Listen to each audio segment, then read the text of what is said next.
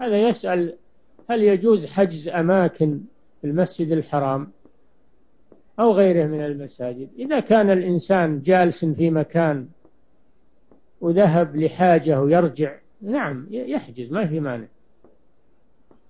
أما أنه يحجز المكان ويروح ولا يرجع إلا بعد مدة يروح ينام ولا يروح يبيع ويشتري لا هذا ما يجوز. أما إنسان في المسجد وطرى له شغل ويرجع قريبا يروح يتوضأ يروح يجيب كتاب يأخذ مصحف أو ما أشبه ذلك أو يكلم شخص ويرجع. هذا في حكم الباقي في المسجد. ما في مانع يجعل في مكانه ما يحفظه له. لأنه راجع إليه.